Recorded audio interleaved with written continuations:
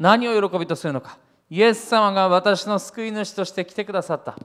そのことが私たちの最も偉大な出来事であり最も素晴らしいプレゼントであり最もですね私たちが喜ばなければならないものであることを覚えたいと思います。アメン。10億宝くじが今日までニュースだけ知っています。10億円当たる当たったら人生もハッピーかもしれません。想像するしたしたらですねハッピーになるなると思うかもしれません。でも統計で大体8割9割ぐらいの人たちは2年後には不幸せになってるそうです。その宝くじがどれだけ当たってどれだけお金持ちになっても数年後には不安がやってきて恐れがやってきてそして家族は崩壊し、えー、そして本当の喜びは得られない。お金はあったかもしれない。でもすぐになくなってしまって永遠に続く喜びは受けることはできない。でもイエス様は永遠に続く喜びを与えてくださっていることを感謝します。クリスチャンはだからまあこのシーズンをもちろん楽しみ喜びます。でも来週もクリスマスです。再来週もクリスマスです。だこれは永遠にクリスマスが続きます。クリスマス年に1回だけだと思ったらいけません。だってクリスマスクリスマスっていうのはキリストミサキリストを礼拝することですから。イエス様を大好きな人たちがイエス様を大好きだと言って礼拝することが永遠に続くんですね。それが本当にこのクリスマスもう一度私たち覚えなければならないですね。アメン。じゃあとっても有名な御言葉開きましょうか。ルカの福音書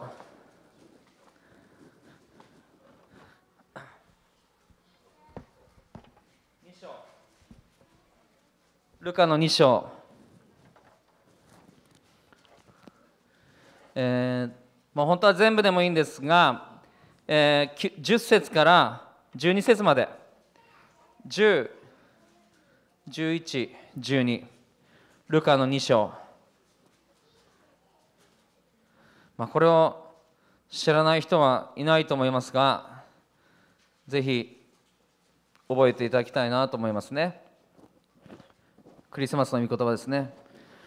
まああの別に皆さん夢を壊すわけじゃないですけど羊飼いはですね夜あの夜晩をして、えー、この夜景をして羊を守るっていうのは冬にはできなかったそうです。寒くて。ですからこの時期ではなくてやはりもう少し前秋頃ですね、えー、その頃にカリオの祭りのシーズンにですねイエス様が生まれたという説がかなり大きいです。そしてイエス様がのその3年半じゃないですか。3年半っていうのを遡っていくとその十字架が杉越の祭りなんでそこから半年前って考えるとやっぱりあの12月じゃなくて秋頃なんですよね。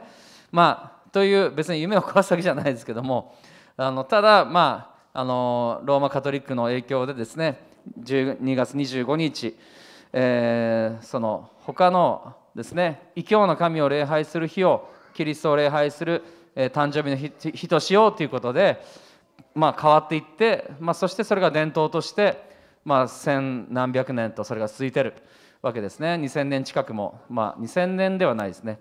初代教会はそうではなかった、まあ、千何百年か続いているわけでありますけれども、まあ、その箇所を今日開きたいと思います2章の10、11、12これは私たちの今日の御言葉として受け取っていきたいと思います。はい。見つかいは彼らに言った。恐れることはありません。今、私はこの民全体のための素晴らしい喜びを知らせに来たのです。今日、ダビデの町であなた方のために救い主がお生まれになりました。この方こそ主キリストです。あなた方は布にくるまって会話桶に寝ておられる緑子を見つけます。これがあなた方のための印です。アメン。すごいですね。この後も本当は読みたいぐらいですけどね。するとたちまちこの見つかりたちと一緒に多くの天の軍勢が現れて、神を賛美していったと。いいと高きところに栄光が神にあるように地の上に平和が御心にかなう人々にあるようにという天の軍勢の賛美を聞いたんですね。10節を見てください。恐れることはありません。ね。私たちはいろんなことで恐れてしまいます。年末年始どうなるんだろう。将来どうなるんだろう。子供たちどうなるんだろう。でもイエス様は恐れることありません。神の御使いたちは羊飼いたちに全ての民に対して恐れることはないと言われました。もし今日私たちがクリスマスをお祝いしたいのであれば恐れることはないと言われる主の御言葉を受け取っていきたいと思います。アメン。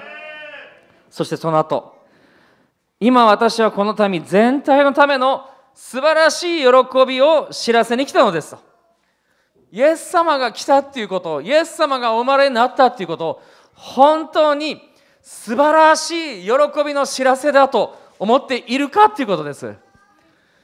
イエス様があなたのもとに来られたイエス様が私のもとに来られたっていうことは素晴らしい喜びの知らせなんです。でもね本当にこの時期、えー、ねなんかイルミネーションが輝いていてそしてでも多くの人たちが鬱になるそうです。この時期は私はもう一人ぼっちのクリスマスだとかね、恋人たちのクリスマスっていうイメージがどうも強いので、えー、ですね、はい、お菓子がすごいですね。はい、はーちゃんね、はい、感謝します。ね、まあどうしてもその比べてしまってですね、あ私は寂しいクリスマスだと、もうぼっちぼっちクリスマスだと思ってしまうわけですね。でもクリスマスは皆さん素晴らしい喜びの知らせを受け取る時ですね。クリスチャンでも12月になってくると、ああ、12月だ。ね、多くの教会は、ああ、クリスマスのイブ礼拝、何個ろうそくを用意しないといけないのか。もうね、僕は本当に、まあ、結構好きでは好き好きは好きだったんですけどろうそく灯してですね絶対誰かがちびちびたちが「うわ」とか「じゃあ」とかやってなんか変なことやるんですよ「ろうが垂れるよ」とかね言いながらですね。で街道中がろうだらけになるんですよ。でもこれちょっと消防法的に危ないかもしれない。ろうそくいっぱい手に持ってですね、えー、クリスマスのイブやってたらポトンと落としたらそこからですね、えー、燃え広がるかもしれない。だからあのちょっと危ないんですよね。ああクリスマスになったらクッキー何個作らなきゃいけないのか。もう本当にそういうことばっかり。まあ僕もあの河原町のですね、えー、その伝道に行ったことあるので分かりますけどもえー、高松のある教会の皆さんが、えー、クッキーは今回、えー、300個400個作りましたと。300も400も皆さん大変ですよね。ああクリスマスああ12月になるとサンタさんにどういうプレゼントをお願いしないといけないのかな。もうプレゼント何を買うのか。もう本当にそのこと。僕もですね最近いろんな方に、え、プレゼントを買わないといけないということですね。えー、昨日誰かに隠し撮りされてしまってですねストーリーに上げられてしまったんですけども あのまああの、ま、迷うわけですよね。夢タウン行っても何を買ったらいいのか。お訳が分からなくなる。だからもう本当にもうスターバックスのもうカードだけっていう感じになるんですけどもまああの迷うわけですね。12月になるとわあクリスマスプレゼントどうしようって。でも皆さん悩んでばっかりのクリスあクリスマス12月。寂しいですね。だから多くの人が実は自殺者が多いのは12月でもあるんですよ。もちろん季節の変わり目3月とか4月も多いんですけども12月のこのシーズンっていうのは鬱になって本当にこの自殺する人たちも多い。最近はですね本当に有名な、えー、女優さん歌手の人たちが方がですね自殺したっていうニュースを聞きましたね。驚きました。本当に全てを揃ってそうでもう全てもう本当にもう素晴らしい歌を歌ってですね、えー、まあそういう人がですね自害してしまう。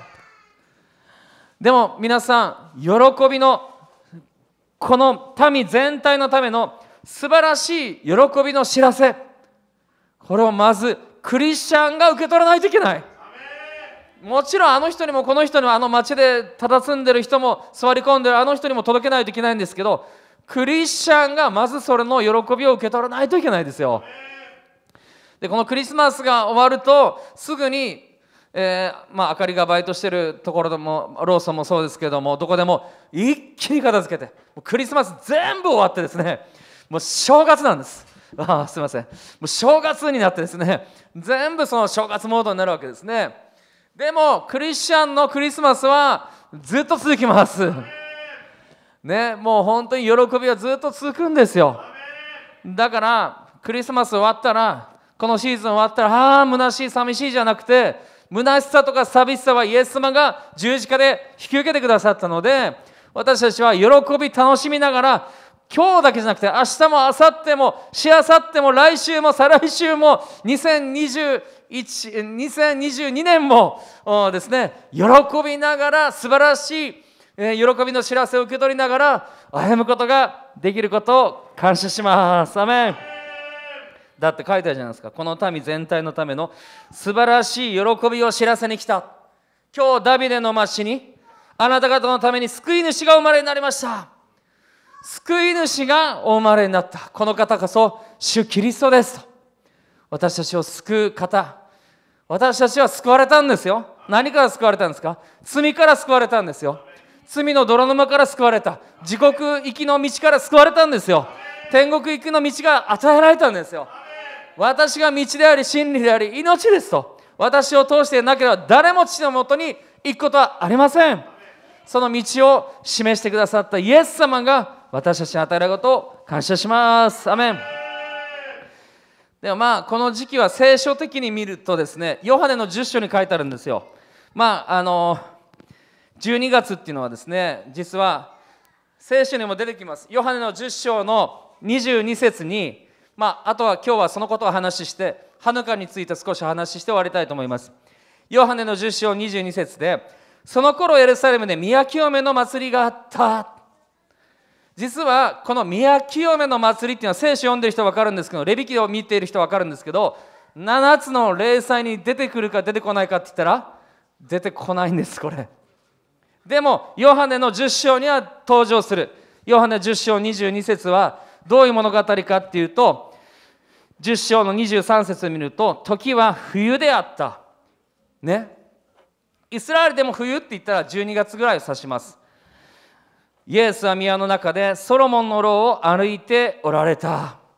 ちょうどこれはイエス様が十字架にかかる4ヶ月前の話です。さらに2ヶ月遡るとカリオの祭りといってイエス様が生まれたシーズン。でもこの12月っていうのは時は冬であった。イエスは宮の中でソロモンの牢を歩いておられた。イエス様もこの宮清めの祭りの時にエルサレムの神殿の近くに、まあ、神殿に来たんですね。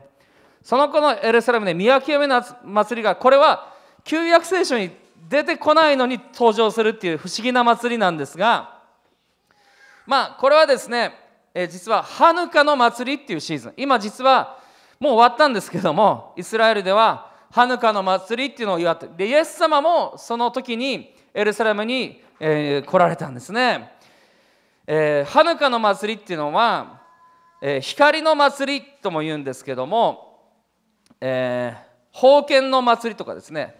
神殿を奉納する封建する。そういう祭りでもあります。えー、とですねちょうど旧約聖書の最後は何ですか？はい。ダビー君分かりますか？誰分かりますか？マラキ。新約聖書の最初は？リンカ。え？マタイ。はい。まあマラキからマタイまでの間大体ですね400年ぐらいあるんですよ。その間を中間時代っていうんですけども聖書に登場しない。だけど聖書のには含まれてないですけど外典と言われてるところにはまあいくつか記されているんですね。でその中の一つのある有名な物語があるんですね。それはマカバイ戦争っていうのがあります、えー、当時ですねギリシャ軍簡単に言えばギリシャ軍がですねイスラエルを治めていたんですけども、えー、そして礼拝することそして宗教的な儀式が一切禁止されていた。だからカリオの祭りとかそういったこともできなかった。でマカバイ族っていうですね、えー、その家族がですねユダヤ族のユダヤあユダヤの民族の一部マカバイ家っていう人たちが団結して立ち上がってですね、えー、そのギリシャ軍に立ち向かっていったっていうそういう戦争があったそれが中間時代にあったんですね。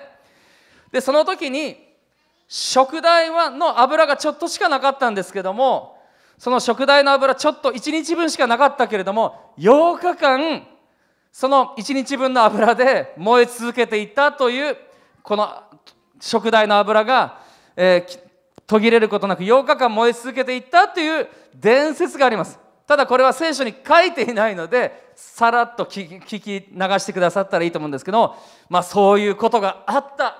わあすげえでそしてそのよその時に、えー、イスラエルはですねそのマガバイ戦争でギリシャ軍に打ち勝っていったという話があったんです。だからこの12月のシーズン普通は食材っていうのはあそこの 牧師の祈り戸のところにいつもありますけど7つの食材しかないんですけどもこの12月だけは8つの食材を使ってお祝いするそうなんですね。これは聖書に書いてないです、まあ、ユダヤの,、まあこのえー、その一つの流れなんですけども8つの食材だから別名このハヌカの祭りっていうこのシーズンは光の祭りとも呼ばれるんですね私たちも油を絶やすことなく灯火を燃やして明かりをね、灯し続けなければなりません。アメン。ね、えー、林原明かりの明かりですけれども、明かりを灯し続けなければなりません。アメン。そして神殿を封建した、回復した、取り返したっていうことで、そのことを、まあ、封建するっていうのはハヌカっていう意味で、ハヌカの祭りと呼ばれた。その頃に、イエス様、ヨハネの10章22節で、宮清めの祭りがあったっていうのは、そのことなんです。そのことをまた別名宮清めの祭りと言われていたでもこのヨハネの10章では何があったかというと簡単に言えばそれもですね簡単に言えばイエスこそが救い主であるイエスこそが光であるっていうことを誰も信じなかった。それがヨハネの10章の出来事。でも羊飼いは羊は羊飼いの声を聞き分けますと、ね、羊たちはこの羊の声を羊飼いの声を聞き分けると。選ばれた民がいるということをイエス様は言った。でも実はあのイエス様でさえ多くの人たちにっていうかもう出会う全ての人たちに受け入れられたばっかりじゃなくて拒絶されたんです。私たちも伝道してトラクトをもらってくれなかったこともあると思います。イエス様のことを伝えても、え拒否されることもあると思います。愛を伝えてもその愛が伝わらないこともあります。でもイエス様も同じです。イエス様を愛だと思ってやっていったけれども愛愛が伝わらないこともあります。イエスは光です。私は道です。真理です。命です。そのように語っても全ての人が受け入れたわけじゃなくて多くの人が信じなかったんです。それがヨハネ10章の出来事。イエスこそが希望の光であるということを知らないで今のこの時期もそうです。イルミネーションが街を飾っていますけれども多くの人たちが誠の光であるイエス様を受け入れない。それが今の全世界の様子なんです。河原町に行ってみてください、えー、町を見てみてください。全ての人がイエス・キリストのことなんか思っていないです。多くの人たちがイエスこそが私の光であると思ってイルミネーションを見ているのではないんです。でも本来ならばクリスマスの明かりとかイルミネーションっていうのはイエス・キリストが私たちの光である救いであるっていうことを象徴はしてると思うんですけども全く街を見るとどこ行っても東京だと何ですか六本木でしょうかどこでしょうかいろいろあります。どこ行ってもそんなことはもうないです一切ないヨハネの10章の26節に何て書いてあるでしょうかまあ、開けた方だけでもいいですから、すみません、それ読みましょうか。ヨハネ10の26。はい。しかし、あなた方は信じません。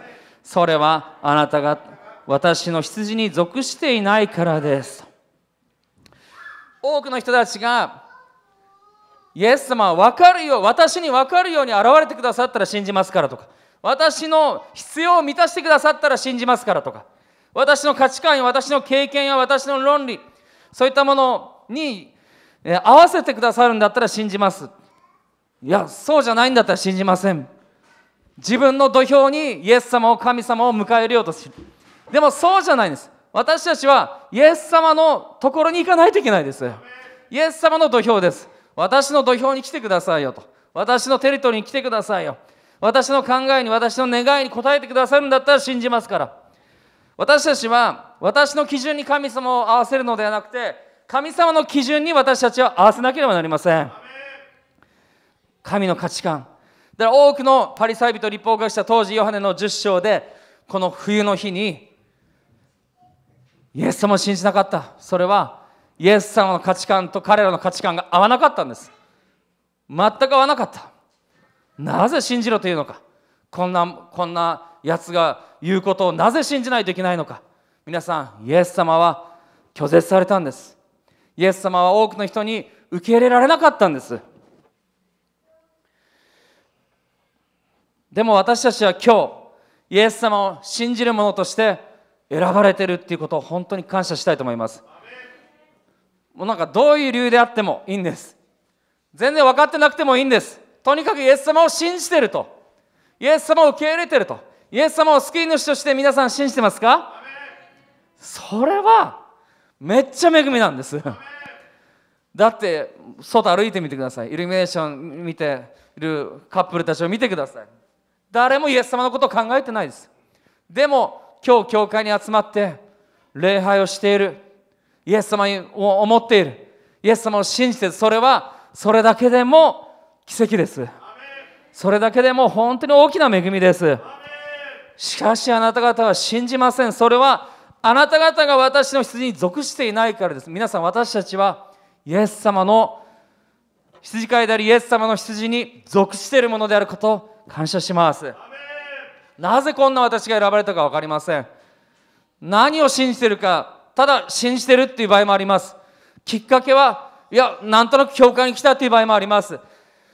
どのように信じたか私のなんか100%このですね理解したかって言ったら理解してないかもしれない。でも信じてる。それは私たちがただ神様の憐れみによってイエス様の羊に属しているものとして選ばれているっていうことですね。多くの人たちがイエス様を知っていながらイエス様を信じていませんでしたそれがヨハネの10章のハヌカの祭りの出来事です。光の祭り私たちは今日です。ねこの精霊の宮が回復された封建された私たち一人一人がハヌカされたそれこそが神様の奇跡であることを覚えたいと思います。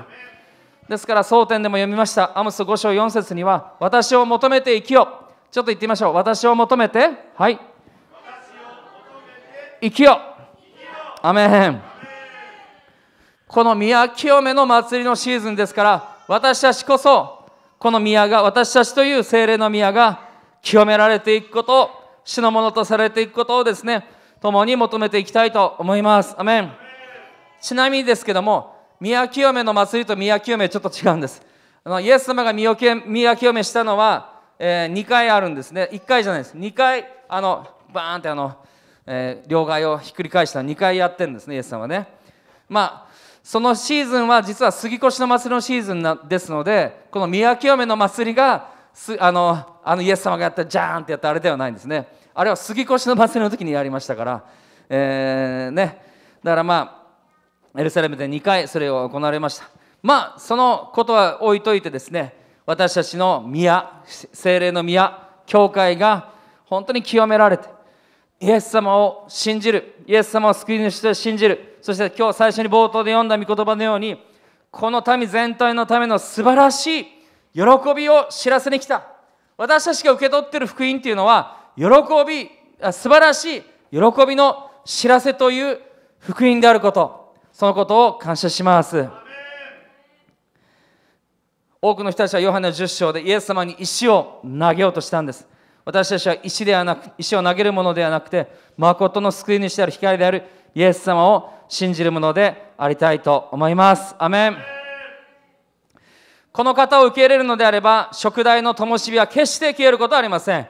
永遠の光である死が私たちのための印です。その方が来られたことを救い主として救い主としてお生まれになったことを共に喜びたいと思います。